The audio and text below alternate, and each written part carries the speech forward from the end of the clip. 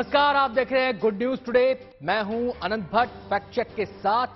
सबसे पहले, यानी कि आज वायरल खबरों की पड़ताल से पहले, होली की ढेरों शुभकामनाएँ आपको। होली का मौका है, इसका मतलब ये नहीं है कि सोशल मीडिया पर संदेशों की, सूचनाओं की, तस्वीरों की या फिर फ़ोटोज़ की आवाजाही बंद हो जाएगी। ये बदस्तूर जारी रहती है और इसलिए होली के दिन भी फैक्ट चेक ज़रूरी होता है। जो हम करेंगे आपके लिए और आपको बताएँगे पूरा सच।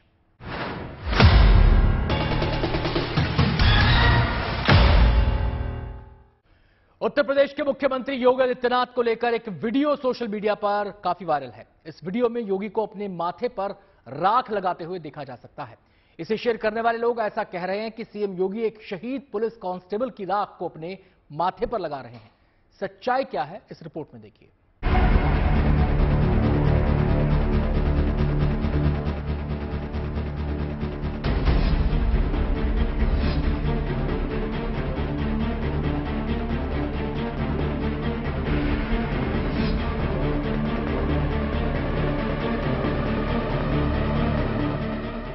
उमेश पाल हत्याकांड के बाद जारी पुलिसिया कार्रवाई के बीच सोशल मीडिया पर यूपी के मुख्यमंत्री योगी आदित्यनाथ का एक वीडियो वायरल हो रहा है। दावा किया जा रहा है कि प्रयागराज में उमेश पाल हत्याकांड में शहीद हुए पुलिस कांस्टेबल के शव की राख से योगी आदित्यनाथ ने तिलक करते हुए उन्हें सम्मान दिया।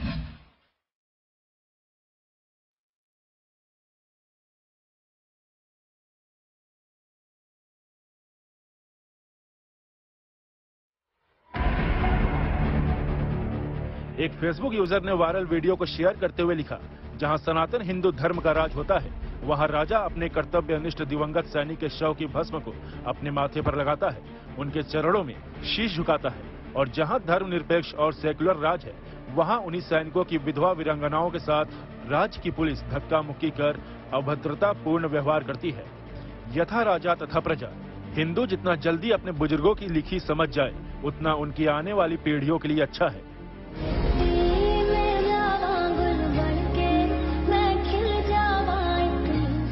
वायरल वीडियो सोशल मीडिया के कई प्लेटफॉर्म पर तेज़ी से वायरल हो रहा है, लेकिन वीडियो को लेकर जो दावा किया जा रहा है, उसकी सच्चाई क्या है, वो पता लगाना ज़रूरी हो गया था।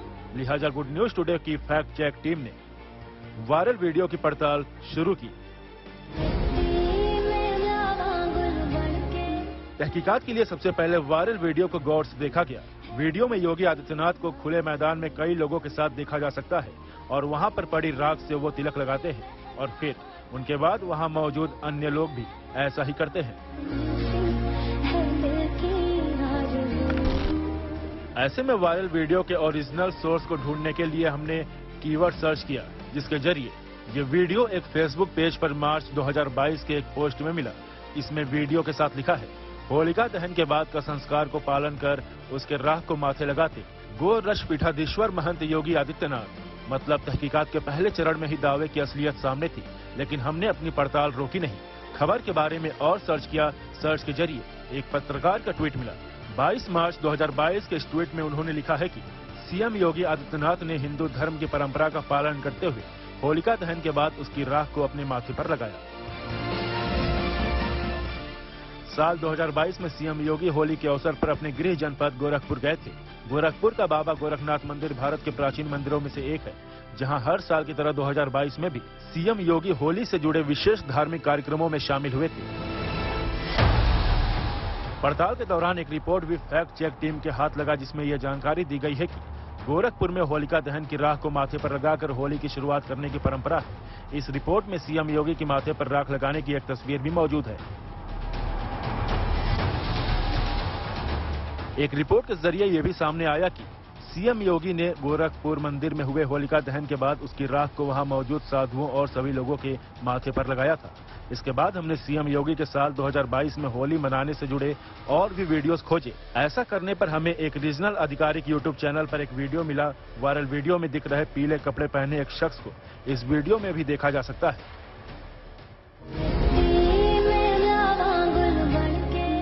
इस तरफ़ फैक्ट चेक से ये स्पष्ट हो गया कि ये वीडियो साल 2022 में बाबा गोरखनाथ मंदिर में मनाई गई होलिका है। इसमें सीएम योगी होलिका दहन के बाद उसकी राख को अपने माथे पर लगा रहे हैं। वीडियो को प्रयागराज उमेश पाल हत्याकांड से जोड़कर गलत दावे से वायरल किया जा रहा है। संजना सक्सेना, आशीष कुमार के साथ team fact check, Good News Today. Social media पर दावा किया जा रहा है कि तमिलनाडु के मुख्यमंत्री एम के स्टालिन ने राज्य में रह रहे हिंदी भाषी राज्यों के प्रवासियों को 20 मार्च तक राज्य छोड़ने का अल्टीमेटम दे दिया है। नहीं तो उन्हें जान से मार दिया जाएगा। जानिए इस वायरल दावे की हकीकत क्या है।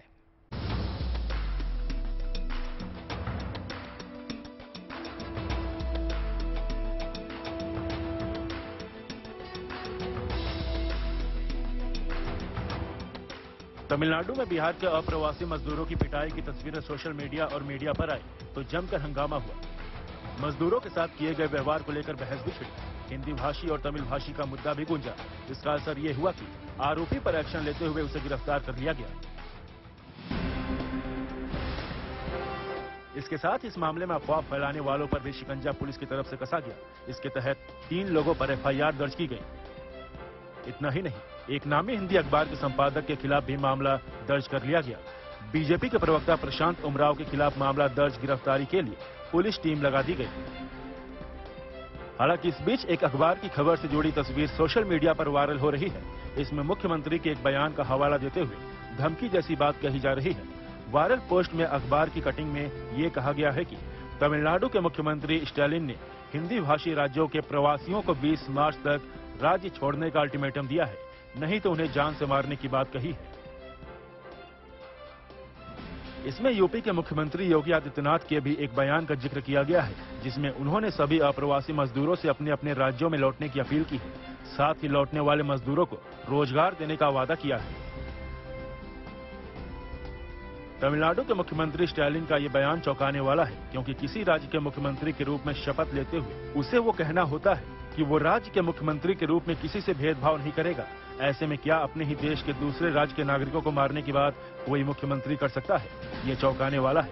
यही वजह है कि फैक्ट चेक टीम ने इसकी पड़ताल करने का फैसला किया। अपनी पड़ताल के लिए जब हमने कथित खबर की तस्वीर को गौर से देखा तो पाया कि तस्वीर में एक नामी अखबार का लोगो ऊपर की तरफ़ बना है। जबकि तस्वीर के ठीक बीचों बीच धुंधला सा न्यूज़ बैनर मेकर का वाटरमार्क लगा है।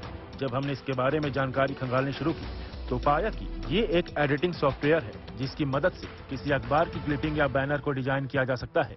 ये गूगल प्ले स्टोर पर भी उपलब्ध है। इसके साथ ही हमने संबंधित खबर को अखबार के नाम के साथ तलाशने की कोशिश की, लेकिन हमें कोई ऐसी खबर हाथ नहीं लगी। इसके बाद खबर को लेकर अखबार की तरफ़ से भी सफ़ाई आई कि ऐसी कोई खबर अखबार की तरफ़ से प्रकाशित नहीं की गई है। खबर में योगी आदित्यनाथ के जिस बयान का हवाला दिया गया, उसे भी हमने ढूंढना चाहा, लेकिन उनके इस बयान से जुड़ी कोई भी खबर हमें नहीं मिली। इस मामले में राज्य के डीजीपी की तरफ़ से भी एक बयान जारी किया गया है, जिसमें लोगों से अफवाहों पर ध्यान न देने की अपील की गई है। वहीं इसी मामले में राज्य के मुख्यमंत्री स्टालिन ने भी बयान जारी कर इस तरह अफवाह फैलाने वालों की निंदा की है। उन्होंने भरोसा दिलाया कि राज्य के सभी अप्रवासी मजदूर सुरक्षित हैं। इनकी मदद के लिए पुलिस हेल्पलाइन नंबर भी दिया गया है। हमारी पड़ताल में ये साफ़ हो गया कि जिस अखबार की कथित खबर में मुख्यमंत्री के बयान का हवाला दिया जा रहा है, वो बयान मुख्यमंत्री स्टैलिन ने नहीं दिया है। खबर को एडिटिंग टूल की मदद से गढ़न तरीके से बनाया गया है। लिहाजा वायरल पोस्ट में किया जा रहा दावा पूरी तरह गलत है।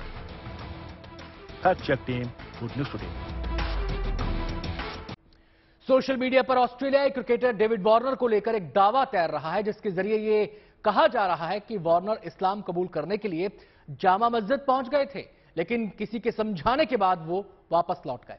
जब वायरल दावे का फैक्ट चेक किया गया तो सच और झूठ सामने आ गया।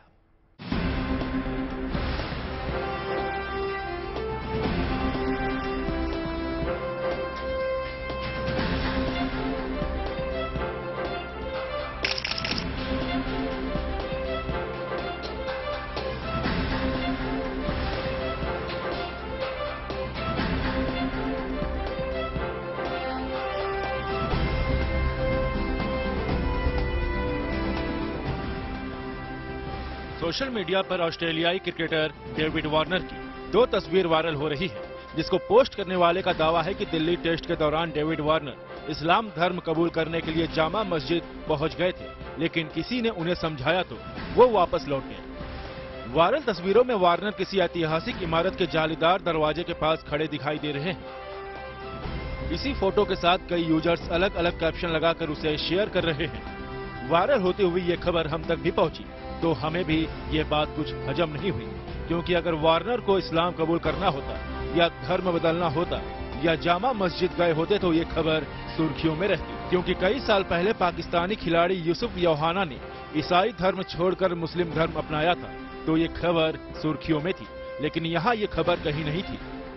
ऐसे में हमने तहकीकात शुरू की, ताकि इस पोस्ट और तस्वीर का सच सामने आ सके। क्या वार्नर इस्लाम कबूल करने वाले थे? क्या दिल्ली टेस्ट के दौरान जामा मस्जिद गए थे वार्नर? कहाँ की है वार्नर की फ़ोटो? कीवर्ड सर्च के ज़रिए हमने इंटरनेट पर पड़ताल शुरू की, लेकिन हमें ऐसी कोई खबर नहीं मिली जिसमें वार्नर ने इस्लाम कबूल करने की इच्छा जताई हो, या उनके इस्लाम कबूल करने के लिए जामा मस्जिद जाने की बात कही गई हो। वायरल तस्वीर को रिवर्स सर्च करने पर ये हमें वार्नर की इंस्टाग्राम पोस्ट मिली। जिसमें 20 फरवरी 2023 को वार्नर ने कुछ तस्वीरें पोस्ट की थी। इन्हें शेयर करते हुए उन्होंने लिखा था कि ये दिल्ली में उनके परिवार के साथ घूमने की तस्वीरें हैं। इसके साथ ही उन्होंने अपने फॉलोअर्स से ये जगह गेस करने के लिए भी कहा था। वार्नर की पोस्ट की गई तस्वीरों को खंगालने पर हमें एक तस्वीर मिली जिससे सारा राज खुल गया, क्योंकि वो दिल्ली टेस्ट के दौरान हिमायू का मकबरा देखने के लिए गए थे। हमें कई मीडिया रिपोर्ट्स भी इंटरनेट पर मिली जो इस खबर की पुष्टि कर रही थी कि डेविड वार्नर ने दिल्ली टेस्ट के दौरान हुमायूं का मकबरा का परिवार समेत भ्रमण किया था। इस तरह से हमारी पड़ताल में यह साबित होता है कि ऑस्ट्रेलियाई खिलाड़ी डेविड वार्नर को लेकर जो बात सोशल मीडिया पर फैलाई जा रही है, वो सरासर गलत है। दरअसल दिल्ली टेस्ट मैच खत्म होने के बाद वो अपने परिवार के साथ हुमायूं का मकबरा देखने गए थे। सुमित कुमार दुबे के साथ team fact check, Good News Today. Pakistan की हालत बद से बदतर होती जा रही है। इन सबके बीच सोशल मीडिया पर एक वीडियो वायरल हो रहा है, जिसमें सड़क पर लोगों का हुजूम दिखाई दे रहा है।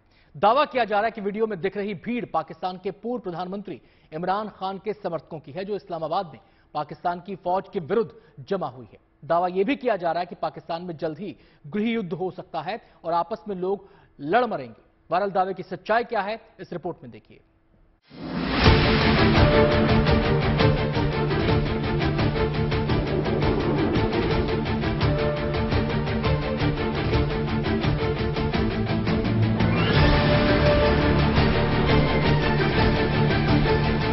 हज़ारों लोगों की भीड़। माजरा क्या पाकिस्तानी फौज के खिलाफ हल्ला बोल पूर्व प्रधानमंत्री इमरान खान के समर्थकों का ऐलान जंग। वायरल वीडियो सोशल मीडिया पर ज़बरदस्त तरीके से वायरल हो रहा है। सड़क पर लोगों का हुजूम दिख रहा है। दावा किया जा रहा है कि वीडियो में दिख रही भीड़ पाकिस्तान के पूर्व प्रधानमंत्री इमरान खान के समर्थकों की है, जो इस्लामाबाद में पाकिस्तान की फौज के विरुद्ध जमा हुई। दावा ये भी किया जा रहा है कि पाकिस्तान में जल्द ही गृह युद्ध होगा और आपस में लड़कर लोग मर जाएँगे। फेसबुक पर एक यूज़र ने वीडियो शेयर करते हुए लिखा, अब होगा गृह युद्ध जिहादी देश में। इस्लामाबाद में इमरान खान के सपोर्ट वालों की भीड़ की ताज़ा वीडियो देखो। पाकिस्तान की फौज के खिलाफ ऐसा माहौल पहले कभी नहीं बना। आपस में ही लड़ मरेंगे ये जिहादी जय सनातन हालाँकि ये बात सच है कि पाकिस्तान पिछले दो दशक के सबसे खराब हालात को झेल रहा है।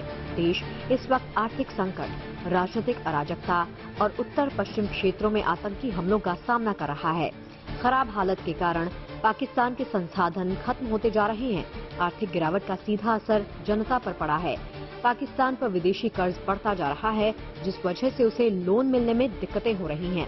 लिहाजा, पाकिस्तान धीरे धीरे दिवालिया होने की कगार पर खड़ा है।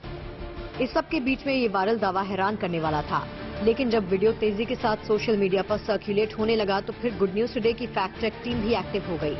सबसे पहले वीडियो को गौर से देखा गया। वीडियो में इमारतों से घिरे बड़े से मैदान में भारी संख्या में लोग नज़र आ रहे हैं। मैदान के बीच में एक खंबा और एक इमारत के ऊपर झंडा भी फहराता देखा जा सकता है। ऐसे में सच और झूठ का पता लगाना ज़रूरी हो गया था। वायरल वीडियो से स्क्रीन ग्रैब निकालकर गूगल रिवर्स इमेज सर्च किया तो 27 फरवरी 2023 का एक ट्वीट मिला जिसमें हूबहू यही वीडियो मिला।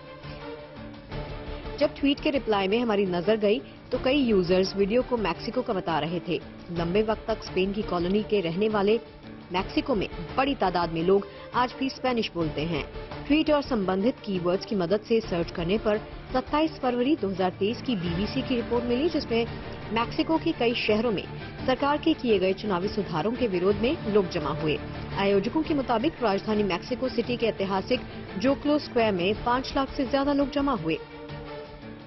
दरअसल मैक्सिको में सांसदों ने पिछले हफ़्ते नेशनल इलेक्टोरल इंस्टीट्यूट के बजट को कम करने और इसके स्टाफ में कटौती करने के लिए मतदान किया था। विपक्षी दलों ने इस कदम को लोकतंत्र पर हमला बताया और सुप्रीम कोर्ट से इसे असंवैधानिक बताते हुए पलटने की अपील की। इसके बाद से इस कदम के खिलाफ विरोध प्रदर्शन हो रहे हैं। लोपेस ओब्रेडोर पिछले दो चुनाव हारने के बाद जुलाई 2018 में मैक्सिको के राष्ट्रपति चुने गए। नेशनल इलेक्टोरल इंस्टीट्यूट देश में चुनावों की देखरेख करता है और राष्ट्रपति लोपेस ओब्रेडोर इसके कामकाज के लंबे वक्त से आलोचक रहे हैं। वायरल वीडियो में नज़र आ रही इमारतें और मैदान के बीच में दिख रहा खंबा इस तस्वीर में देखा जा सकता है। इसके बाद गूगल मैप की मदद से वायरल वीडियो में दिख रही दुकानों को खोजा गया। सैटेलाइट व्यू की मदद से मैदान के बीच में लगा खंबा और आसपास की इमारतों को हूबहू देखा जा सकता है। इस तरह वायरल वीडियो के फैक्ट चेक से ये साफ़ हो जाता है कि वीडियो मैक्सिको की राजधानी मैक्सिको सिटी में हुए विरोध प्रदर्शन का है। पाकिस्तान का इससे कोई लेना देना नहीं। Team fact check, Good News Today. Social media पर एक वीडियो वायरल है जिसमें कब्र खोदकर एक व्यक्ति को ज़िंदा बाहर निकाला जा रहा है। दावा किया जा रहा है कि वीडियो पंजाब का है, जहाँ एक नकली पीर बाबा कब्र समेत बाहर निकाल लिया गया। वायरल वीडियो की सच्चाई क्या है, हमने इसकी पड़ताल की।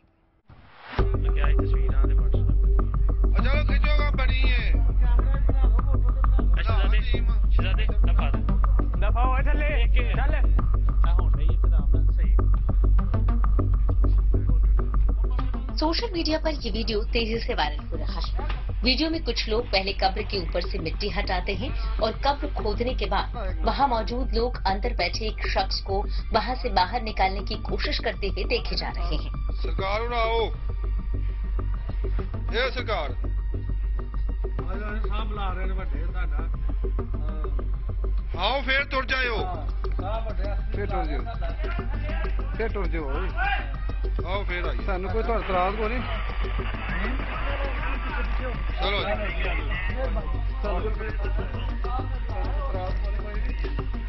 एक फेसबुक यूज़र ने वायरल वीडियो को शेयर करते हुए लिखा है, मुरीदों के पुकारने पर पीर साहब कब्र से उत्तर देते थे। पंजाब पुलिस को पता चल गया तो पीर साहब को आवाज़ समेत कब्र से ही बाहर निकाल लिया। एक बार आप लोग भी पीर साहब के दर्शन अवश्य करें। वायरल वीडियो चौंकाने वाला था। कोई व्यक्ति ज़िंदा कब्र के अंदर कैसे पहुँच गया और पुकारने पर कब्र के अंदर से ही जवाब देते थे, ये चौंका रहा था। लिहाजा गुड न्यूज़ टुडे की फैक्ट चेक टीम ने वायरल वीडियो के पीछे छुपी असली कहानी को बाहर निकालने में जुट गई। तहकीकात के लिए तीन बातों को ध्यान में रखा गया। क्या वाकई वायरल वीडियो पंजाब का है? अगर दावा सही है तो घटना कब की है? या जानबूझकर यूज़र्स को गुमराह किया जा रहा है। इन बातों को ध्यान में रखते हुए फैक्ट टीम ने अपनी पड़ताल शुरू की। वीडियो के कई ग्रैप्स निकाले गए और उन्हें गूगल रिवर्स इमेज के ज़रिए सर्च किया गया। इस दौरान एक पाकिस्तानी पत्रकार का वेरीफाइड ट्विटर हैंडल से किया गया एक ट्वीट मिला। 15 फरवरी 2020 को इस वीडियो को ट्वीट कर इसे पाकिस्तान के सियालकोट का बताया गया था। मतलब पड़ताल के पहले चरण में ही ये तो साफ़ हो गया कि भारत से वीडियो का कोई संबंध नहीं है, लेकिन खबर को पुख्ता करने के लिए हमने अपनी पड़ताल रोकी नहीं। तहकीकात के अगले चरण में हमें वायरल वीडियो से जुड़ी वीडियो रिपोर्ट एक आधिकारिक यूट्यूब चैनल पर भी मिली। 19 फरवरी 2020 को अपलोड किए हुए वीडियो में दी गई जानकारी के मुताबिक ये घटना पाकिस्तान के सियालकोट शहर की है। कब्र में बैठा एक शख्स काला जादू करने के लिए लोगों से पैसे लेता था और उन्हें बेवकूफ़ बना रहा था। वीडियो में दिख रहे व्यक्ति ने लोगों से ये कहकर भी धोखा दिया था कि वो 40 दिनों तक कब्र में बिना कुछ खाए पिए रहेगा, लेकिन वो सभी बुनियादी सुविधाओं के साथ कब्र में रह रहा था। और बाहर जाने के लिए कब्र के चारों ओर कई सुरंगें भी खोद रखी थी। जब यह खबर पुलिस तक पहुँची तो पुलिस ने इस जाली पीर का भांडा फोड़ा और उसे गिरफ़्तार किया। यह आदमी सालों से लोगों को बेवकूफ़ बना रहा था। एक आधिकारिक वेबसाइट ने 19 फरवरी 2020 को कब्र में रहने वाले इस पीर पर एक वीडियो रिपोर्ट भी की थी, जिसमें इस पीर के बारे में पूरी जानकारी दी गई थी। वीडियो रिपोर्ट में दिखाया गया है कि कब्र के अंदर ये शख्स किस किस तरह की सुविधाओं के साथ रहता था और लोगों को इस ढोंग से बेवकूफ़ बनाता था। इस तरह हमारी पड़ताल में भारत के पंजाब में एक पीर को पंजाब पुलिस द्वारा गिरफ़्तार किए जाने का वायरल दावा गलत साबित हुआ। वायरल वीडियो पाकिस्तान के पंजाब प्रांत सियालकोट का पुराना वीडियो है जिसे अब भारत से जोड़कर शेयर किया जा रहा है। वायरल वीडियो का भारत से कोई लेना देना नहीं है। वायरल वीडियो का भारत से कोई संबंध नहीं है। Team fact check Good News Today. ना तो रूस यूक्रेन की जंग थमने का नाम ले रही है ना ही दोनों देशों के बीच चल रहे युद्ध को लेकर सोशल मीडिया पर तस्वीरों और वीडियो से जुड़ा अफवाहों का दौर। अब एक बार फिर सोशल मीडिया पर ऐसा ही एक वीडियो वायरल है। दावा किया जा रहा है कि यूक्रेन में लोगों को जंग में शामिल होने के लिए सेना दबाव बना रही है। उन्हें सजा दी जा रही है। क्या है इस दावे की हकीकत? पड़ताल करती है, रिपोर्ट देखिए।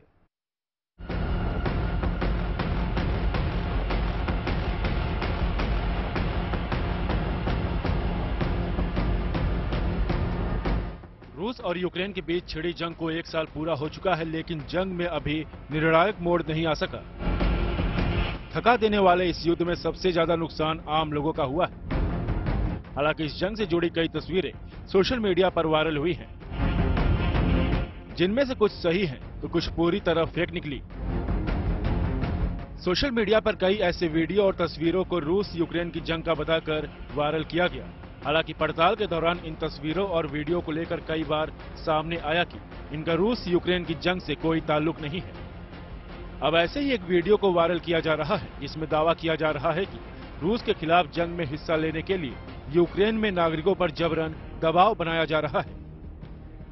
वायरल वीडियो में कुछ लोगों को एक खंबे पर प्लास्टिक से बंधे हुए दिखाया गया है, जिनके सामने सैनिक खड़े हैं, जो उनसे बात भी करते जा रहे हैं। वायरल पोस्ट में कहा जा रहा है कि ये तस्वीरें अफ़गानिस्तान की नहीं, बल्कि यूक्रेन की है, जहाँ नागरिकों पर अब युद्ध में शामिल होने के लिए कुछ इस तरह का दबाव बनाया जा रहा है। यकीनन ये अपने आप में चौंकाने वाला है। ये बात सही है कि इतना लंबा युद्ध चलने की उम्मीद न तो रूस को थी, न ही यूक्रेन को। ऐसे में जारी जंग को लेकर इस तरह का दबाव यकीनन मानव अधिकारों को लेकर भी बड़े सवाल खड़े करता है। लिहाजा फैक्ट चेक टीम ने इसकी पड़ताल का फैसला किया। अपनी पड़ताल के लिए हमने वीडियो के कुछ की फ्रेम्स को Google reverse image search tool में डालकर तलाशना शुरू किया तो हमें इस दौरान एक सऊदी के पत्रकार का ट्वीट मिला, जिसमें कुछ तस्वीरों का कोलाज और अरबी में लिखा गया पोस्ट मिला। इसे 2022 में 22 मार्च को अपलोड किया गया। इसमें जानकारी दी गई है कि यूक्रेन की पब्लिक कमेटी की तरफ़ से जारी नियमों के तहत महिला और पुरुष चोरों को खंभों से बांधा गया। अपनी पड़ताल को आगे बढ़ाते हुए जब हमने Ukraine thieves tied to Poles keyword के ज़रिए खबरों को खंगालना शुरू किया तो हमें इस दौरान फ्रांस की एक न्यूज़ वेबसाइट पर छपी रिपोर्ट हाथ लगी, जिसमें भी कुछ इसी तरह की जानकारी दी गई है। इस रिपोर्ट में बताया गया है कि इस तरह की घटनाएँ पूरे देश में हुई है, जहाँ इस तरह से चोरी करने वाले लोगों को सजा दी गई है। ऐसे तकरीबन 17 वीडियो सामने आ चुके हैं। यूक्रेन के शहर कीव के नाम से जुड़ी एक वेबसाइट पर भी इस तरह की एक रिपोर्ट में ऐसा ज़िक्र किया गया है। कुछ और मीडिया वेबसाइट पर भी इसी तरह की रिपोर्ट का ज़िक्र किया गया है। हमारी पड़ताल में यह साफ़ हो गया कि वायरल वीडियो में जिस तरह से दावा किया जा रहा है कि यूक्रेन में नागरिकों को युद्ध के लिए पकड़ा जा रहा है, इनकार करने पर उन्हें अपमानित किया जा रहा है, सजा दी जा रही है, वो गलत है। असल में पकड़े गए लोग चोर हैं, जिन्हें घरों और दुकानों में चोरी करने की सजा दी जा रही है। Fact check team, Good News Today. साल 2011 में पाकिस्तान के शहर एबटाबाद में अमेरिकी हमले में हुई अलकायदा के चीफ ओसामा बिन लादेन की मौत ने पाकिस्तान आर्मी और इस आतंकवादी संगठन के बीच के ताल्लुकात के कले खोल दी थी। मीडिया रिपोर्ट्स के मुताबिक पाकिस्तान अफ़गानिस्तान के बॉर्डर पर अब भी अलकायदा के आतंकवादी सक्रिय हैं। इसी बीच सोशल मीडिया पर एक तस्वीर वायरल हो रही है जिसमें दाई और पाकिस्तानी आर्मी की वर्दी पहने हुए एक शख्स एक अधेड़ उम्र के आदमी के साथ बैठकर मीटिंग कर रहा है। इस तस्वीर को शेयर करते हुए कुछ लोग इसे पाकिस्तान की खुफिया एजेंसी, आईएसआई के चीफ नदीम अंजुम और अलकायदा के नए चीफ सैफ अल आदिल के बीच की गुप्त मीटिंग बता रहे हैं। वायरल तस्वीर की सच्चाई क्या है, पड़ताल करती है रिपोर्ट, देखिए।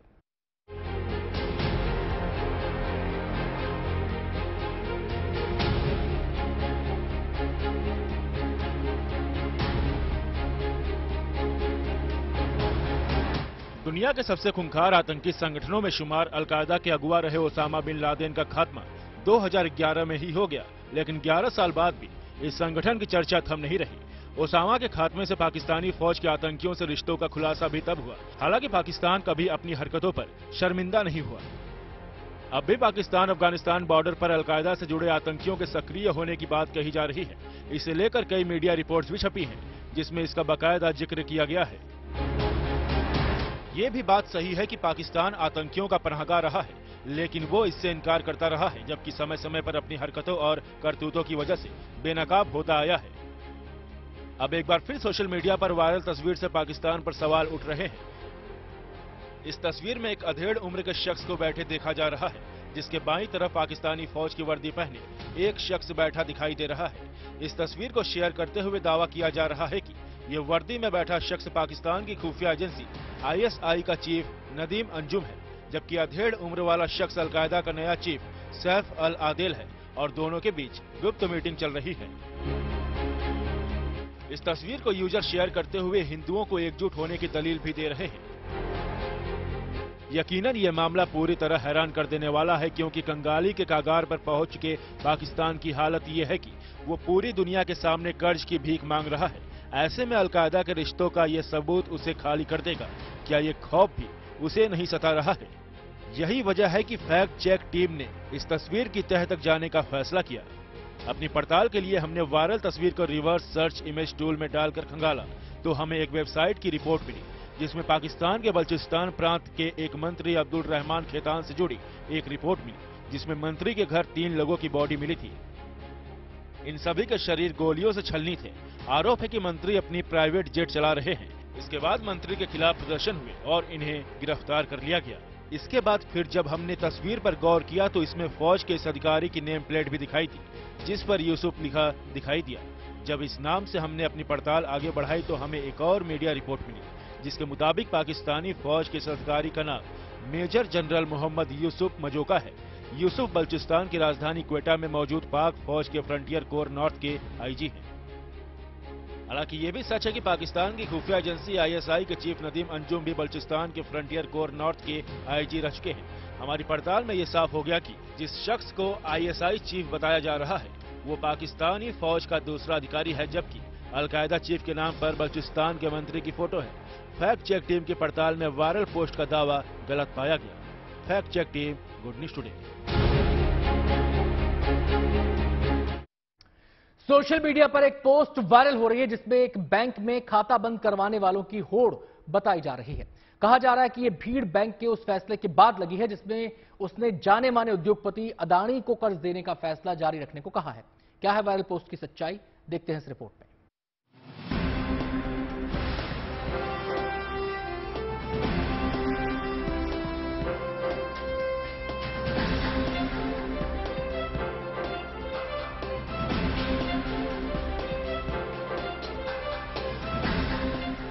बीते दिनों जाने माने कारोबारी गौतम अदाड़ी की कंपनियों को लेकर उठे विवाद के बीच कई अफवाहें भी फैली। इन अफवाहों को सोशल मीडिया ने पंख दिए, जिसका नतीजा ये रहा कि बिना किसी जाँच पड़ताल के लोग इन्हें शेयर करते चले गए।